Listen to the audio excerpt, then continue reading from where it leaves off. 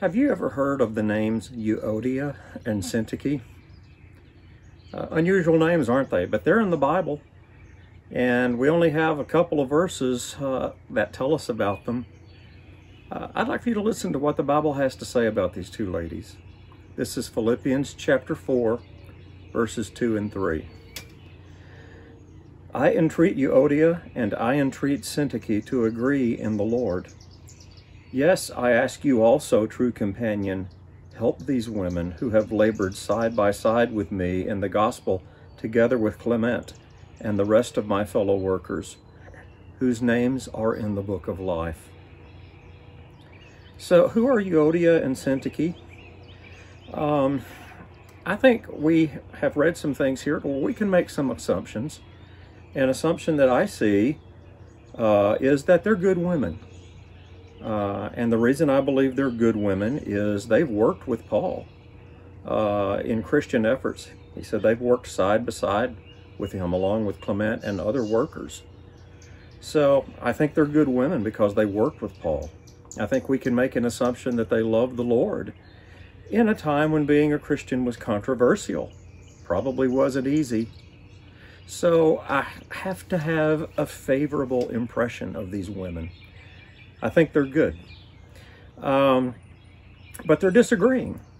And we don't know what the disagreement was on. But there are some things I find about the little information that we have that's really intriguing to me. You know, when Paul dealt with issues, he was not afraid to take a side. Uh, if it came to a doctrinal issue or uh, a clear-cut moral issue, Paul was not hesitant at all in taking sides. He would do so very firmly and convincingly. Paul's not taking a side here. Huh. Have to be careful, but I, I, I, don't know what to make of that. Some have suggested that it could be something petty.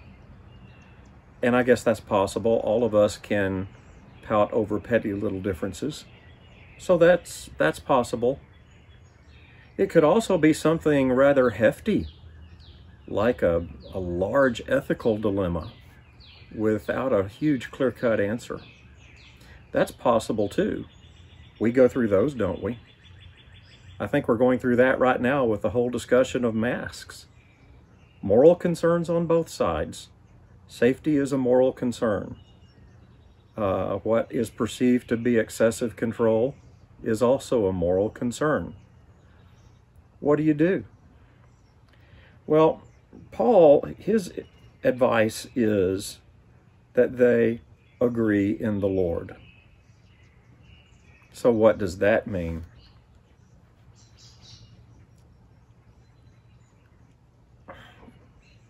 It doesn't say explicitly. All I can do is share with you my impression. My impression is that he's not told them necessarily to uh, for one woman to convince the other woman that she's right. I'm not sure that's it. You know, in teaching conflict resolution, we have a saying that the goal in conflict resolution isn't always for one person to prove the other person wrong and that they are right. The goal in conflict resolution is for love to win. And of course, there are absolute truths that have to be defended. But I wonder if Paul isn't saying here that for Euodia and Syntyche, the goal is not for one to prove the other wrong or right.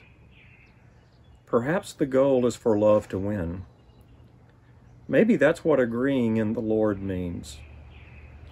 Perhaps agreeing in the Lord means uh, something along the lines of, we're agreeing that we are Christians and we're not going to let something else like this separate us. Even if it's an important issue. Being in the Lord and agreeing that we are all in the Lord really is something special. It means we are a part of the world's greatest community. And we're not going to let other things, as important or it may be even petty as they may be, shatter the bond that we have in Jesus Christ. I know in, in couples counseling, I have used the let love win motif several times. And you might ask, how did they do it? Well, you know, they just found a way to make it happen. They found a way to agree in their marriage, like we strive to find a way to agree in the Lord. They just found a way to make it happen.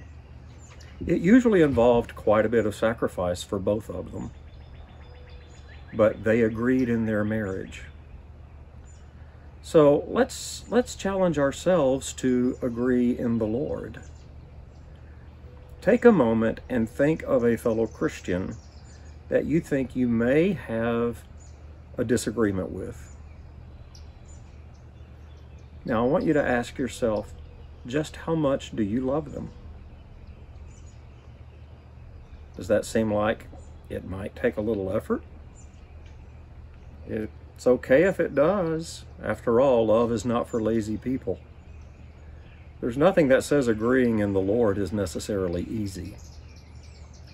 But this is what Paul tells us. And if you look at the linguistics of the way he says this, at minimum, Paul is offering very strong sound advice. But he also could be issuing a direct command. Either way, the uh, words agree in the Lord need to be taken very seriously by us. Let's remember how special it is to be in this Christian community. And let's agree in that. And let's allow that to be larger than any other disagreements that we may have. Let's pray. Father, thank you so much that we are in you. And we realize we're not going to agree on everything. And while some things are absolute, others are not and we ask your help in guiding us uh, as to the best way to achieve solutions. But Lord, we also ask you to help us to realize that we're in the Lord, we're in you, and we can agree on that. And that can be our greatest agenda and should be. Thank you for making this possible. In the name of Jesus, amen. Hope you guys have a great afternoon. Take care. Love you. God bless.